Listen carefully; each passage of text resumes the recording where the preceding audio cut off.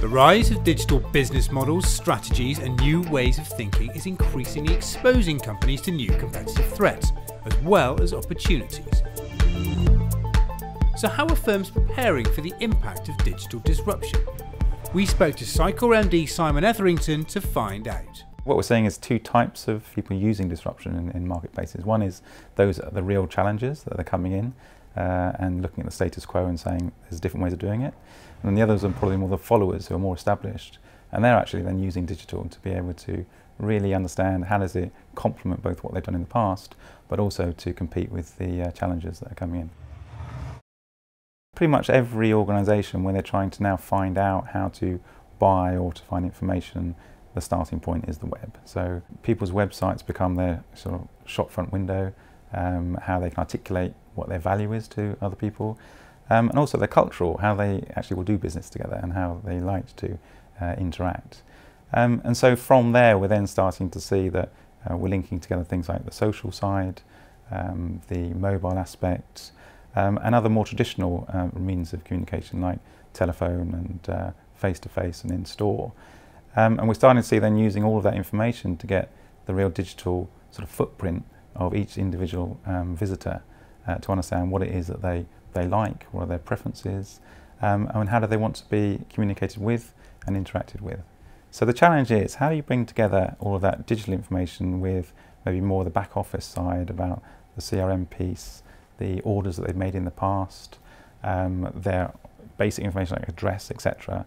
Bring all that together and say, okay, based on the information, in real time, how am I going to help and present certain content to that person right now that either helps them to acquire something else from our organisation or cross and upsell, um, or just services them in a way that means that they remain loyal to us as a, as a customer. Well, the starting point has got to be looking at what is the organisation trying to achieve from a business outcome. And we take that and we then say, well, how does digital support that? What's the digital strategy to align uh, with making that happen? There's four things that we help companies to do. Uh, one is to acquire new customers. Second one is to cross upsell to new customers. The third one is to keep customers loyal so we don't lose them. And the last one is to acquire new organisations um, and help them acquire and get a digital footprint in those as quickly as possible. Now, most companies can't do all four of those things at the same time. So we ask them which are the one or maybe two areas that you're really focused on. Um, so as an example, with ASOS, we asked the same kind of question, and uh, the response was, well, obviously we'd like to have more customers, but right now um, the focus would be how can we increase um, cross and upsell and increase each particular uh, customer's basket. To do that, it's about how do we get the right content to those individuals to make a relationship with that person that says that they are more likely to stay with us online or interface with us, uh, and that will lead to a, a, larger basket, and that means that then we're generating the, the additional cross and upsell that we're looking for. There's a huge amount of choice um, that marketers can have now in the digital space, and on a daily basis, that choice is getting larger and larger. Um, and yet, the role that a marketer has to do uh, is constrained by time and resource. And so the challenge is that how, do you take advantage of the digital revolution, if you like, um, in a way that's easy to consume. Now, the way that we try to sort of help that out is, is fundamentally with a, we're trying to provide a single platform. So we're saying that um, rather than try and knit all these things together for, on your own, here's one platform where it's consistent. Uh, you can see the analytics that comes out of that, so you can see exactly how your activity is being driven through to business outcomes.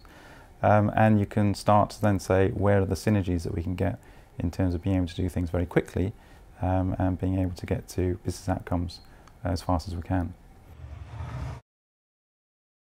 First of all, align your digital strategy, your business strategy. I mean, I, I would say that for any kind of um, response because unless you're very clear about what you're trying to drive as a business, then it's very difficult to get a successful uh, digital approach that supports that.